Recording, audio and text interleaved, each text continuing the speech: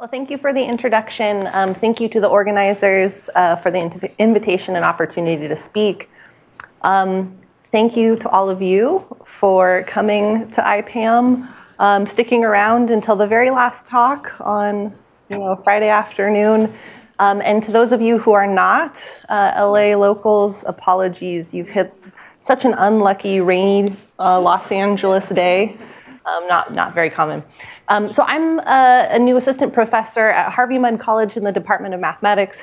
Um, if you're not familiar with Harvey Mudd College, we're very small. We're about 42 miles east of here. It's a small selective liberal arts college. So, okay, and I'm going to talk about um, some work that kind of spans several, mostly pandemic years, um, uh, which was work that began while I was a postdoc here at UCLA in the mathematics department.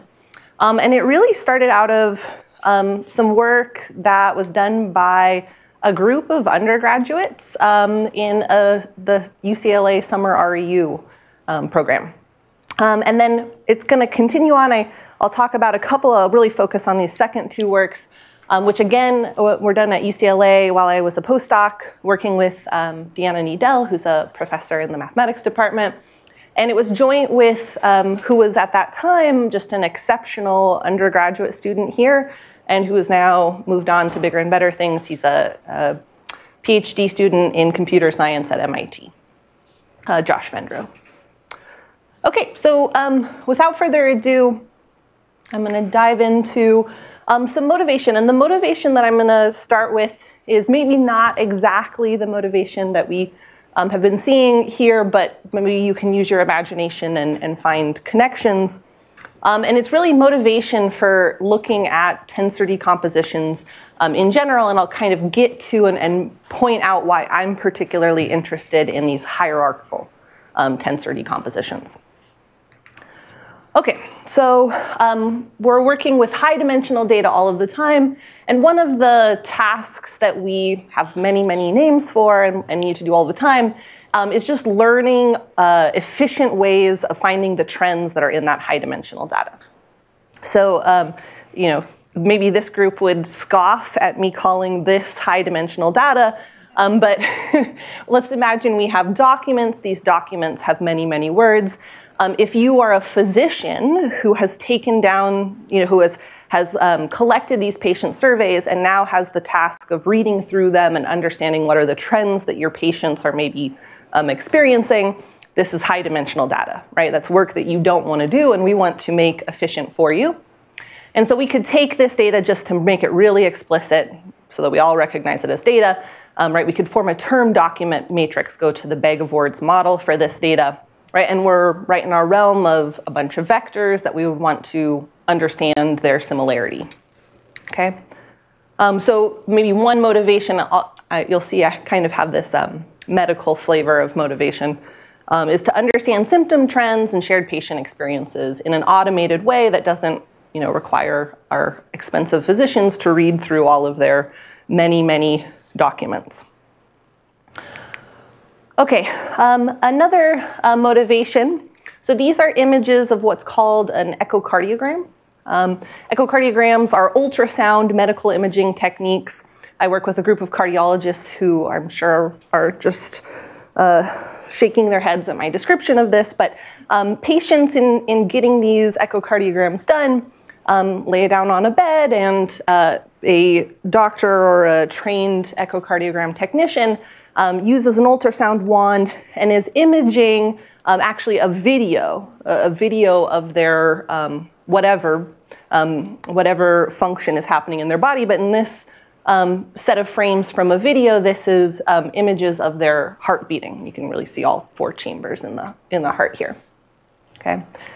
Um, so the previous example was maybe a motivation for why we're interested in trends from matrix data, and this is going to give us um, some motivation for why we might be interested in trends from higher order data like tensors. So um, when uh, physicians do this type of imaging study, right, they're collecting um, pixel information over many frames of the video. And even more interestingly is there's this third mode that I've um, labeled stress, and I truly mean stress here. Um, sounds very unpleasant, but the um, patients are ma made to undergo different levels of physiological stress in a multitude of ways. Um, one of the traditional ways is that they put that patient up on a treadmill, and I'm imagining a you know nurse in the background is like run, run, run. Um, and as their stress level, you know, naturally increases, um, they just keep laying them down and taking these um, images uh, over and over again, these videos. Okay, or the nicer version is that they give them um, pharmacological, um, you know, medication that makes their stress levels go up. That sounds much nicer than than running on a treadmill. Okay, so uh, another motivation, right in line with um, the previous one we saw, is trying to learn the cohesive parts and separate out noise in an automated way um, in medical imaging studies. So these are a couple of the reasons, a couple of the places where we get interested in uh, matrix factorization and tensor decomposition models. But why hierarchical? Okay, so one of the, the main things is that it's often really nice within data sets to know not just what are the kind of trends, the parts, the topics that are present inside of your data, but how are they related? Which ones are more or less related to one another? Okay? So this is where the hierarchy comes in. We don't want to just learn parts or topics. We really want to understand how um, the kind of hierarchical structure of how they're related.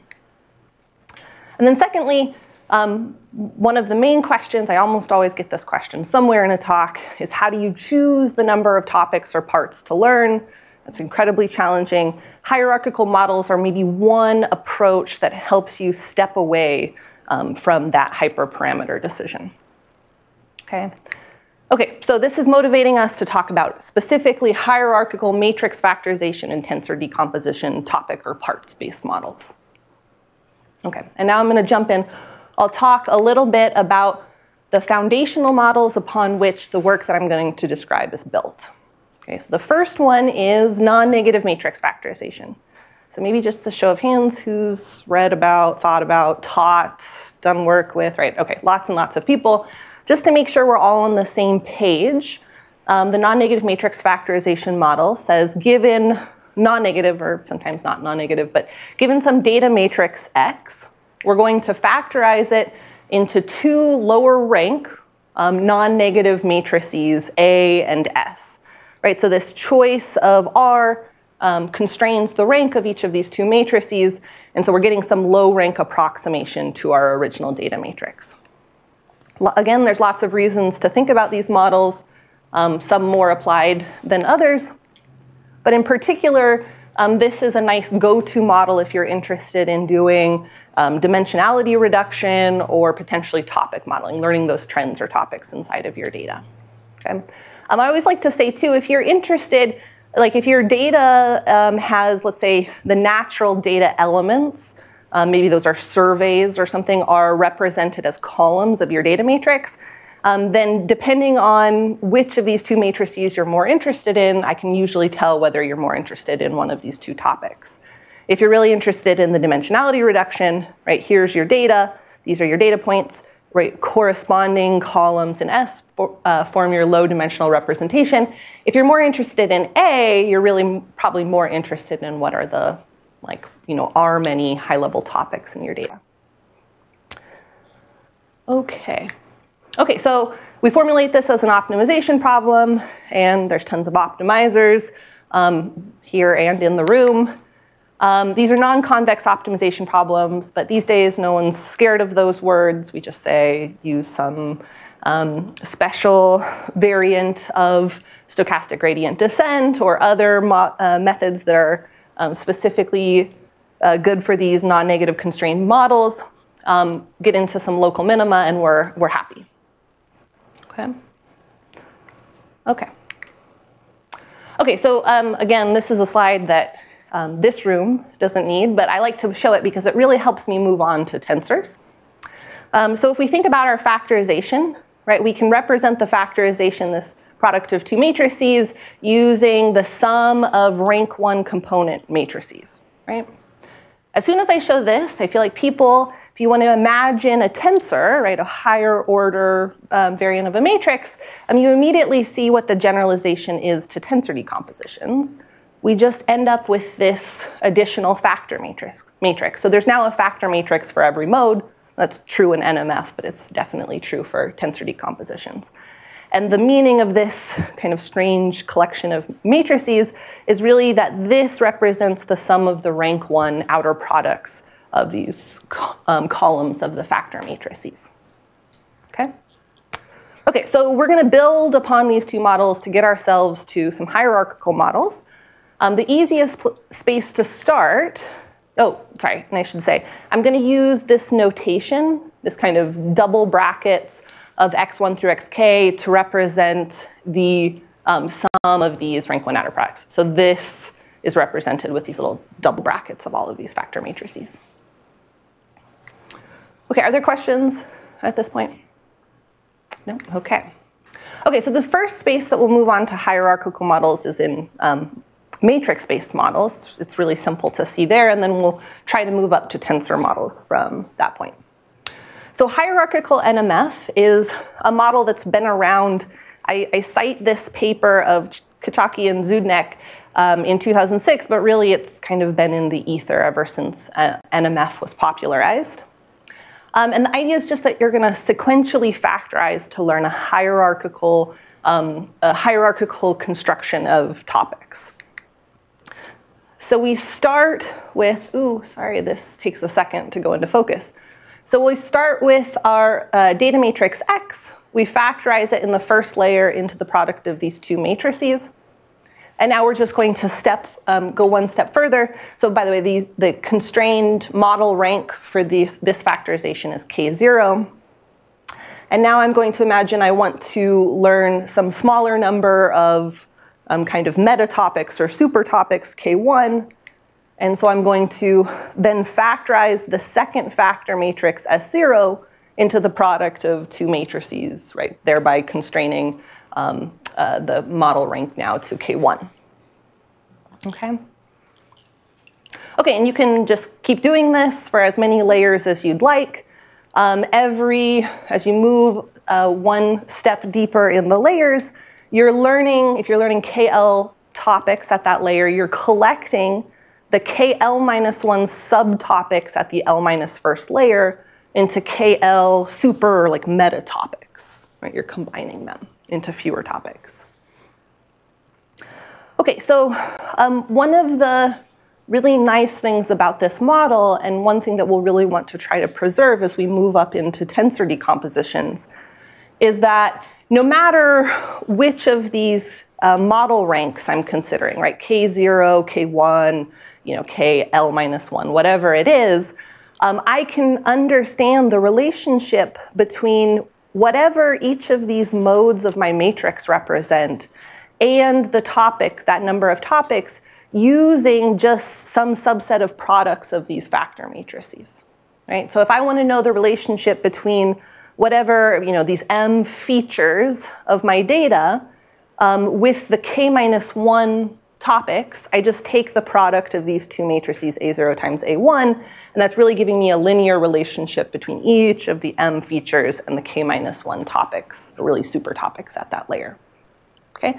And the same thing is true if I want to know the relationship between um, N, right, and my K0, I can take the product of these two uh, matrices, and so I have a relationship between whatever N represents and my K0 super topics or K0 topics. Okay? Okay, so that's something that we like about this model. It's really useful. Um, it makes it really easy for us to interrogate um, what these, these topics that are learned um, and how they relate to the raw data that we have. Okay, so um, the picture goes like this, right? As we factorize, we learn from whatever our raw data represents. Maybe it's something like symptoms. Um, we collect into some topics after one factorization and we can just keep building up. After an additional factorization, we've collected even those topics into super topics, um, and this process continues. Okay, so um, you know, in response to the two questions I posed um, in our motivational section, um, this model is nice, right, for matrix data. It's elucidating the hierarchical relationship of the learned topics at these different levels of, of layers right? We're seeing how topics collect into super topics. In addition, if you are one of those people who can't figure out how to choose your model rank, you don't really need to do so. If you're like, I want to try 7, 17, and 107, well, learn a layered model with model ranks 107, 17, and 7. Right? It gives you um, the flexibility to try uh, a bunch of different model ranks all at once and to understand how the information you're getting at each of those layers um, is uh, interrelated. Short question. Yeah. Uh, could, could you point out the um, connection to hierarchical clustering? Yeah, absolutely. So if you're, so this is just like by itself a hierarchical clustering method. Um, so particularly if, let's say, your, your data elements that you're trying to cluster is represented by these, the n dimension, um, if you interrogate this S0 matrix, and let's say you could even introduce some constraints that say I want to associate each of my um, n data elements to K0 clusters, right? If you had like a one hot encoded matrix here, you'd be reading off which cluster assignment they've been made. And then if you have additionally, uh, you know, you have to get kind of clever to make this um, product of matrices look like a clustering relationship. Um, but you can again, right, you'll be reading off uh, the K1, um, the, oh, sorry, it's not the product, it's just this matrix. We'll be reading off the um, clustering assignment of N to K1, and you're actually getting this additional information from this product of matrices that tells you sort of why you hierarchy. Yep.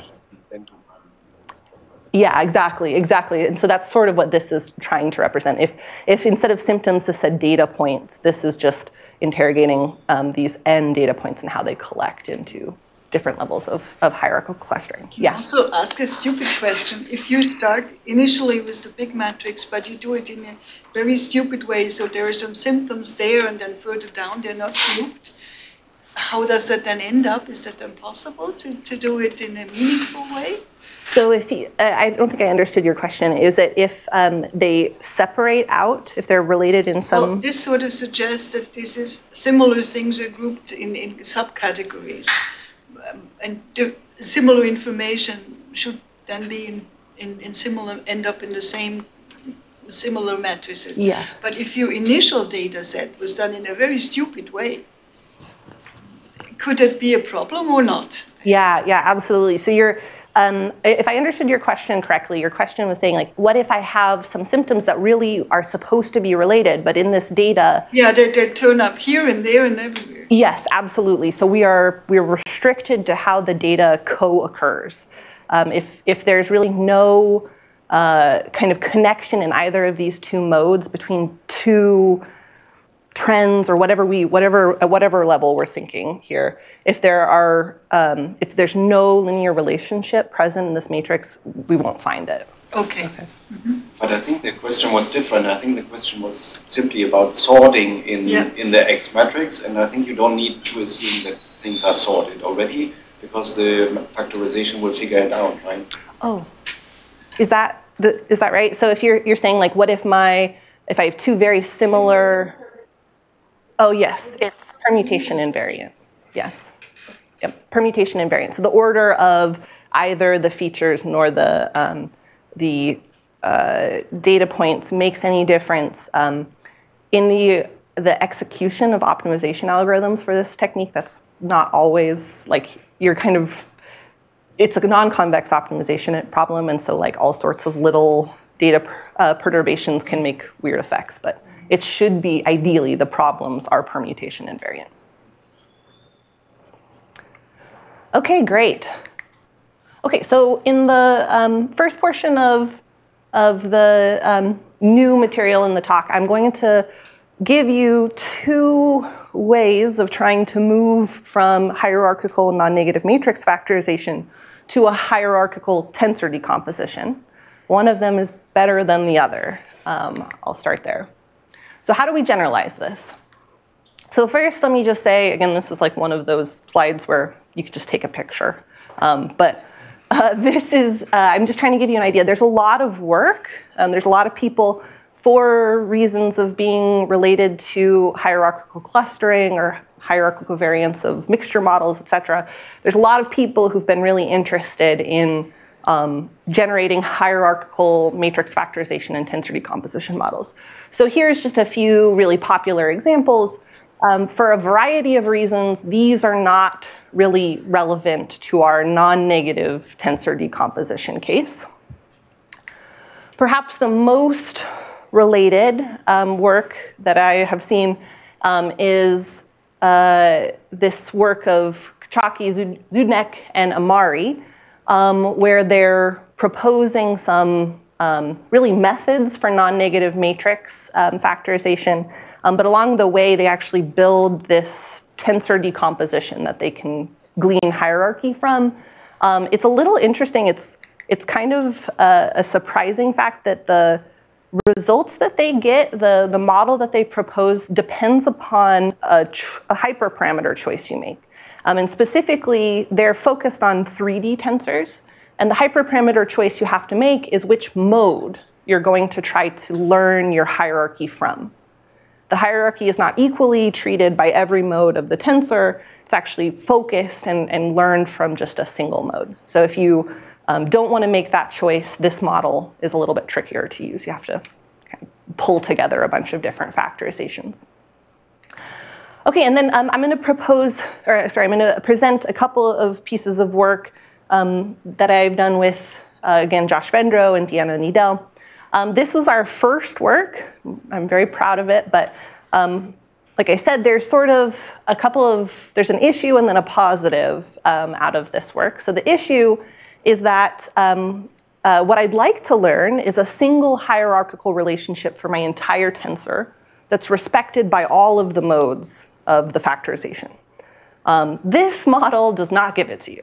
It is a naive model, which I'll present. Um, but one of the things I'll highlight is that we were able to generalize um, a really good training method, what I think is a good idea um, for how to train these models um, for that, that model. Um, and then we proposed what I think is a better model. It gives you a single hierarchical, hierarchical relationship um, but we only have this naive training method for it. And so somewhere um, in the future, there is a combination of these two, model and method, that I think uh, should be much nicer. Okay, so let's jump into, we'll focus on these two papers. I'll start with what I'm going to call the kind of take one model. So take one, hierarchical NCPD. And the unfortunate thing is that we named it hierarchical NCPD.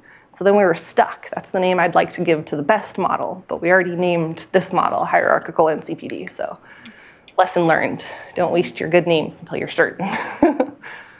okay, so here's our, our tensor. And so our hierarchical model starts out, we just learn a rank R NCPD model. No hierarchy, just you know, initial factorizations using a first choice uh, rank R. Okay? And then just apply a hierarchical NMF model independently to each factor matrix. Okay, so this definitely gets you to, um, you know, you're, you're, getting some information um, about these later ranks, R0, and their relationship to each of the tensor modes, each of these, you know, N1, N2, N3. Um, but the unfortunate thing um, is that these aren't going to be, these aren't going to preserve the relationship across all of the um, all of the modes. So um, the positive, we can extend a really good training method for hierarchical NMF, which we call neural NMF. Um, I'll present this, this model or this training method later called, called neural NCPD. Um, but the sad face news is that we get a different hierarchy across tensor modes. There's nothing constraining the, these later learned factor matrices A0, uh, S0 for, a, for the first, second, or third modes, there's nothing constraining them to have similar hierarchical relationship. The linear relationship learned at each mode is independent of one another, and thus um, it's not overall a single hierarchy for the, the entire tensor. Yeah? So in this case, though, you do have to choose the rank in advance? Yes. So you are inputting always some R, R0, R, you know, K, or um, uh, you're always inputting some choice of ranks. My point from earlier was that if you were actually interested in just a single set of topics, but you weren't sure the rank, let's say you're like choosing between one and seven, just input the ranks one through seven and then learn this type of model. Okay, so you still have some choice that you're inputting. You still have to make a choice, but um, you get a little broader, broader options. Yeah. So in your case, if you chose rank one through seven, but seven was too large, is there any way to see that? Like, okay, I didn't need those higher ranks, and I could have stuck with the lower ones. Yeah, that's a really good question. So. Um, so there's not a whole lot beyond what you could already kind of glean from like an elbow method. You can still do an elbow method type type thing in this um, thing and say, say like, okay, by you know going from seven to six, I actually didn't didn't lose any um, uh, factorization fit. Yeah, that's a good question. Other questions? You choose all the R's, right, as input? Yep. Yep. Okay. Okay, so this is take two. This is what I think is a better model, um, but we don't have a great method. So um, same start. So we've got our, our data tensor. Um, we learn our first rank um, NCPD, right? So uh, a tensor factorization. And then we're going to move on to a lower rank NCPD model.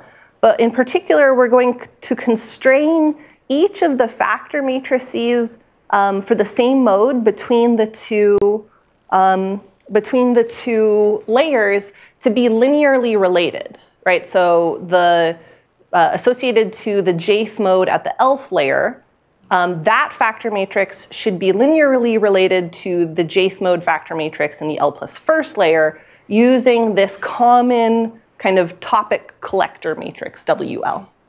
Okay, so WL, notice, doesn't depend upon um, the mode, it's shared between all of the modes. So we're sort of saying, okay, we have to go to a lower rank systematically um, all through through all of the modes. What's the best collection of um, these uh, R L minus one topics into RL topics that we can achieve?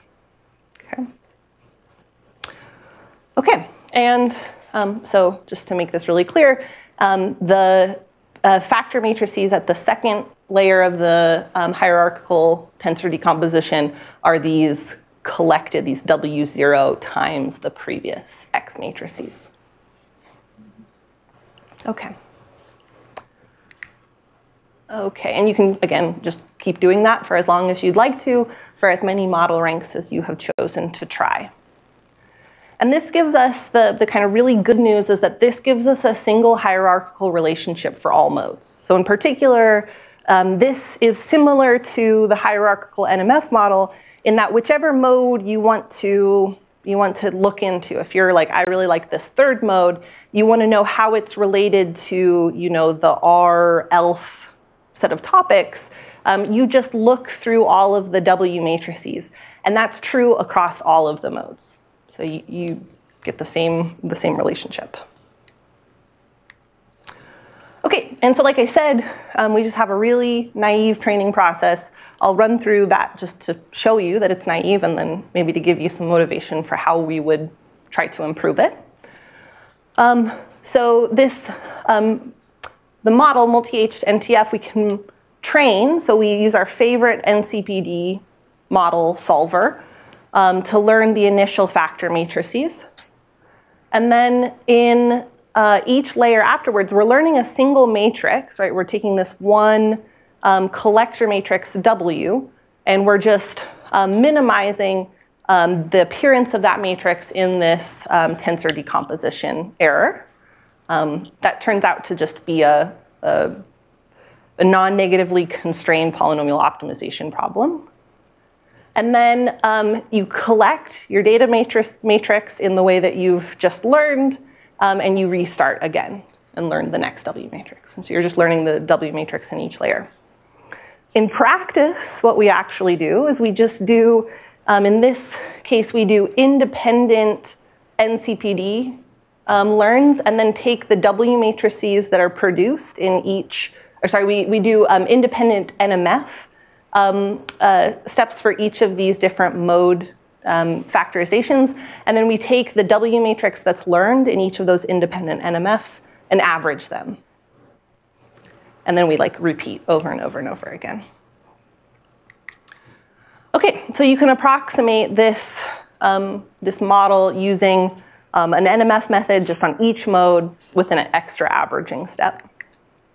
Um, but what I'll highlight is that really um, we could and probably should be trying to do um, something that will help us uh, keep these W matrices um, learned together. We'll actually constrain all of the modes together and get closer to this optimization problem. And then additionally, using uh, the neural network structure that I'll describe um, later um, can be really helpful. It gives us some better training methods. Okay, so with that, I'm just going to take a brief moment to jump into some experiments and to kind of give you an advertisement for the last um, section of the talk. Okay, so I'm gonna, it's just a bunch of experiments, so apologies, you're gonna get like a bunch of tables for a moment, but hopefully it's, uh, hopefully it gets you interested in backpropagation. Okay, so we have this synthetic tensor. So this is actually like a visualization of how we built the tensor. We took a, a a three order tensor, and we um, put into it these constant blocks um, along one of the diagonals of um, differing intensity. Um, so there's two blocks um, of this kind of gray set that has some small intensity. I think it's like maybe value one. And then within those blocks, there's these four blocks um, that are blue and have a slightly higher intensity, like maybe two. And then um, there are one, two, three, four, five, six additional blocks, um, which are this orange color, and it's the highest intensity. So really, this tensor should be decomposable exactly using a rank 7 decomposition. 7 is just coming from, there's six um, of these orange blocks that can't be handled um, together, and then this additional blue block that's separate. Yes? Uh, so basically, the different colors are different constants? Yes. And uh, the empty color, the background color is zero? Zero. Yep. Yep. Thank you. Yeah, that's a much more succinct way of describing this tensor. Thank you. okay, so um, so we'll see now. What I'm going to present to you is uh, relative reconstruction errors on this tensor for models learned, hierarchical models learned with a seven, four, two topic structure, right? And so really, they should just pick up the seven they should pick up is blue, orange, orange, orange, orange, orange, and then the four blue, and then the two biggest light yellow blobs. Okay.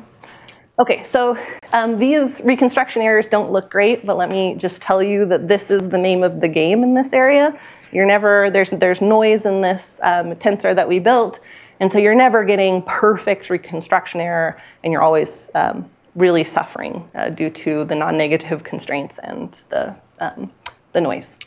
Okay, so um, what I'm showing you is um, are the models that I've just show, uh, described to you, multi-HNTF. This is the model that respects the, um, the hierarchical structure across all of the modes.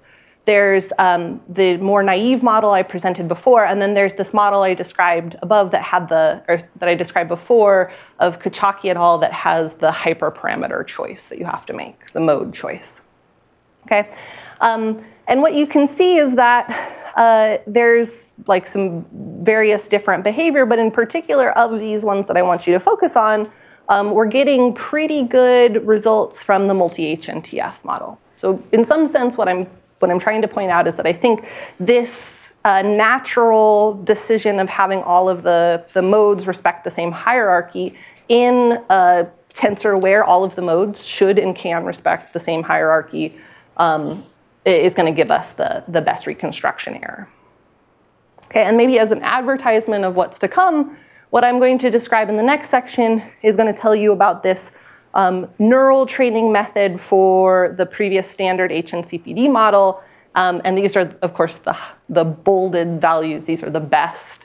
Um, they're incomparable because they're using a much better training method than the, um, these other models.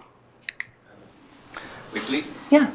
Could you maybe uh, say a few words about how these errors are to be, to be interpreted? Because like you have the same number for r equals 7 in all the methods, and then they don't differ very much for the others. So I. Uh...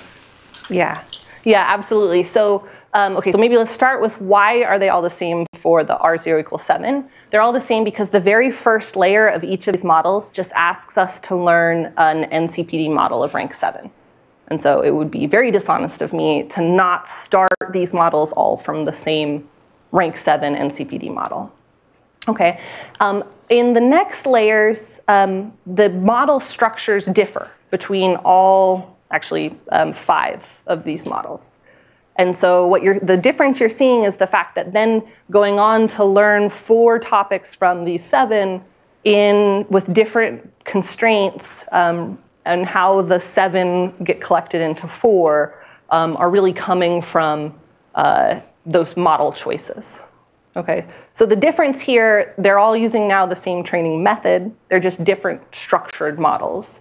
And so any differences we're seeing in the um, training error, the training, or sorry, the uh, reconstruction error here, um, I'm claiming is due to the structure. And perfect performance would mean what number there?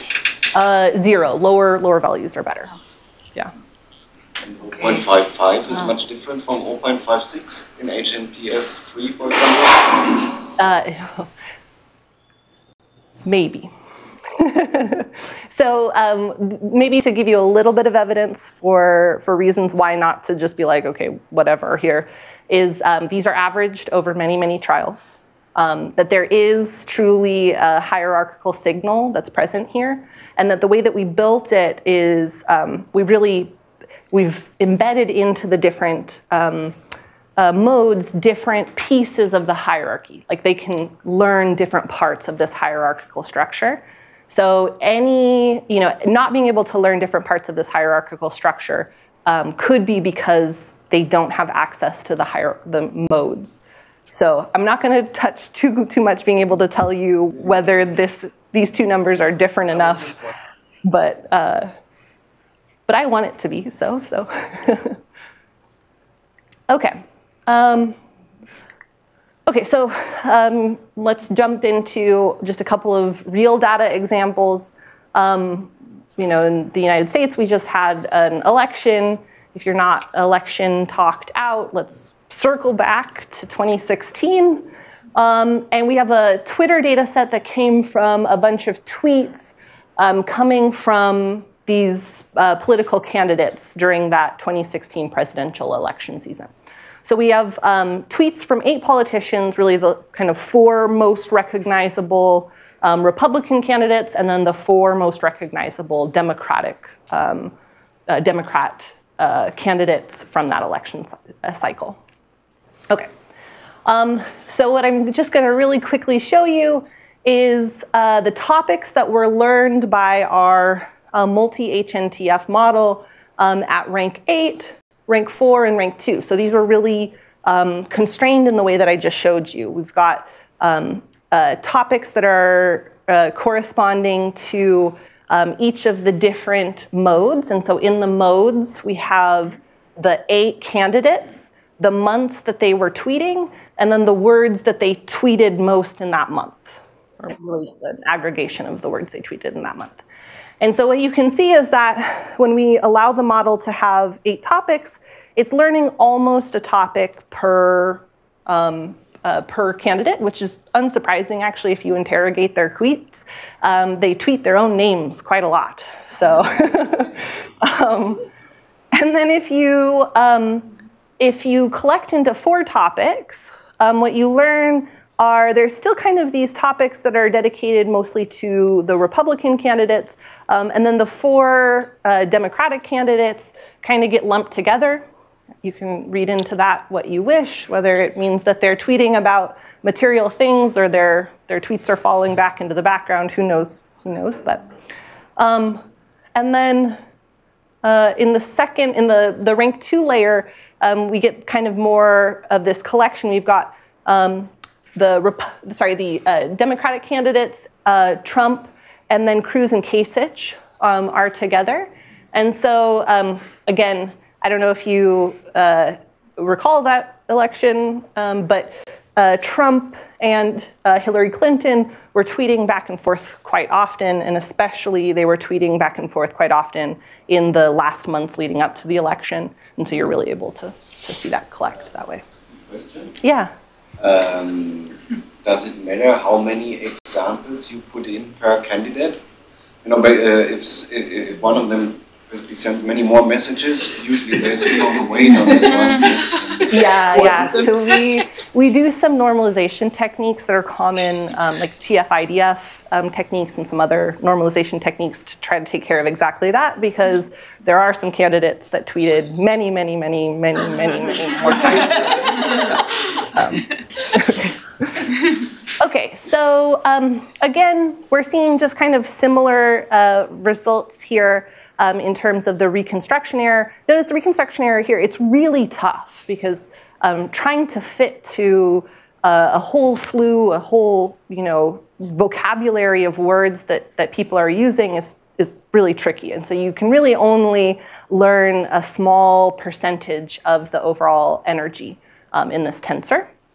Um, but we're seeing kind of similar results where multi-HNTF at least in some of the layers, has some really good structure and is able to outperform um, some of its competitors. And so again, we're using this as evidence that we think this multi-HNTF structure is kind of a better structure than um, some of the others.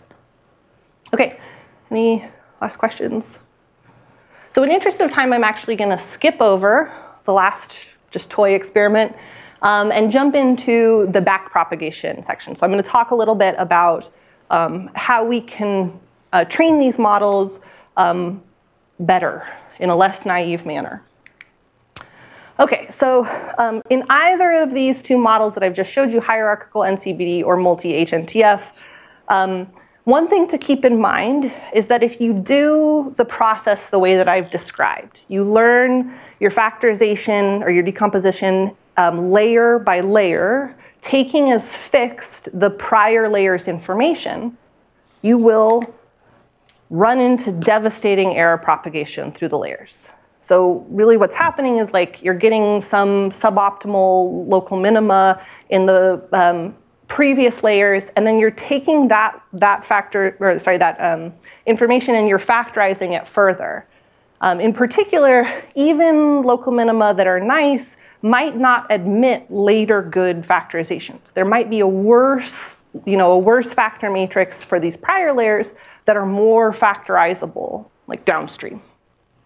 Okay. And so what we hope to do is to figure out some way of back propagating that good or bad factorization information from the later layers back up into the prior layers to kind of nudge us into better initial factor matrices that are better factorizable later. Okay, so, okay, just quick reminder again. Um, I like to show pictures uh, to show you how I'm thinking about these things. So I'm going to remind you about neural networks, remind you all about neural networks. There's like inventors here. So, um, okay, so we've got these neural networks. The way that we think about neural networks is that there's these um, uh, weight matrices are these independent variables that um, determine how the dependent variables flow through and iterate through the network. Um, the goal, right, is to nudge your independent variables, these weight matrices, to something that serves the map that you're looking for. That's going to take your non, learn the nonlinear map that takes your pictures of cats and dogs to correct labels of cats and dogs, right? Okay, so uh, let's collapse that picture down. Um, we don't really care. There's some nonlinear function. We're trying to learn nonlinear functions or nonlinear maps that take us from x's to their nearly corresponding y's. And we do that in two steps. There's the forward propagation step where we actually just say whatever our, our fixed estimation of this um, forward function is, we shove all of the data through, and then we, along that way, use the information we calculated to compute the gradients and we back propagate to update these weight matrices, the independent variables. Okay. Okay, so now let's move this to NMF. Right? So the very first thing we have to do is like, where is the architecture here? Where are the choices of independent and dependent variables? How are we going to make the analogy between NMF or hierarchical NMF and this neural network. Um, and the choices, where we have two sets of variables that we see in every layer. There's the A matrices and the S matrices, right? So A and then the S matrices. So we're going to regard the A matrices as the independent variables as our weights. And we're going to, in, in imagining the forward flow, we're going to say that those are fixed, and then they are going to determine our S matrices. That's the forward propagation step. Okay, and the way that they are going to determine the S matrices is um, we're going to define this non-negative constrained least squares function. So Q takes in X, some matrix X, and some weight or independent variable A, and it's going to output the solution to this non-negative least squares problem, S. Okay, so if you had a fixed A, if you knew what the A matrices were, this would be a really good way to learn the best factorization, um, uh, the best NMF factorization, um, because right, you're just solving a non-negative least squares problem. So we pin the values of S to those of A recursively by just setting um, S at the ELF layer to be the non-negative least squares um, solution um, using um, A sub L, which we imagine to be fixed, and the output from the previous layer, S sub L minus 1. So in particular, after the first factorization, this is um, S sub L minus 1. It goes in. We imagine A1 is fixed, and we learn S1 from it. So it's just doing this little, yeah. It's almost like alternating least squares, but you choose layer, layer shift. Absolutely, yeah. So there's a really strong connection to one of the most popular training methods for non-negative matrix factorization, alternating least squares. It's just that we're going to do this process of we learn, we alternate all on the sequence of S matrices, and then we use, instead of a least squares technique, we back propagate. Okay, okay so um, to put the picture, to make the analogy complete, right, we start out with X, we get to our first um, dependent variable S0 using the independent variables at the first layer and this function Q, so forward propagation. Okay, so the training process, right, is forward propagation, just solve uh, a sequence of convex optimization problems, and then just back propagate, right? Okay, so um, what I'll say is that none of this is extremely hard, but the back propagation step is, is like the only tricky thing. You have to figure out how to um, calculate these gradients, and then hopefully you have a student who likes PyTorch, and they PyTorch for you. um, okay, and how do we get from this hierarchical non-negative matrix factorization technique to a tensor technique? Well, if we are working with the HNCPD model, we just have these independent hierarchical NMF models, and we can apply this approach to each mode. Right? So if this is our visualization of HNCPD, you now just have one of these um, nets, right, for each of the modes, learning each of the factorizations. Okay. That's not what we want to do. What we really want to do is do this for the multi-HNTF and actually properly backpropagate these shared matrices. But okay, so like I said, the only thing, oh, and this text is so small. I'm so sorry. Um, the only thing that's remotely tricky here is the gradient calculation. So let me just say um, we have this is the spirit of a theorem. Um, given knowledge of the support of this non-negative constrained least squares problem, which you get while you're going in the forward propagation step, um, computing the gradient of that function with respect to the independent variable a has a closed form expression almost everywhere in the space of real valued matrix pairs. And even better, the gradient expression almost everywhere is just inherited from unconstrained least squares. So pseudo inverse is your friend and you're done. Okay, and then, like I said, um, you have a student who understands uh, the computational graph structure and uh, can implement this then in um, PyTorch for a variety, or TensorFlow for a variety of different um, final objective functions F. Okay, and now I get to highlight, right, notice that this um, neural HNCPD, so the neural NCPD um, training method is getting us what maybe looks like a little bit more of a significant improvement over these other models. Um, and uh, uh, likely if we were able to combine kind of the good structure of multi-HNTF and the nice training method of neural HNCPD, we'd be really happy. All right, so multi-HNTF is um, what I think is like my favorite hierarchical tensor decomposition model in that it has some nice generalization properties from hierarchical NMF. Um, that model, if you want to do things naively, can just be trained by your favorite NMF method with additional projection step, and you can sometimes get some pretty good results that way. But in particular, um, these neural training methods viewing these problems as um, neural networks and then applying backpropagation can help mitigate devastating error propagation through these multi-layer decomposition models. Um, and so future work is to develop this backpropagation framework for multi-HNTF, and in particular to get all the way back to that first layer NCPD model. Okay, thank you.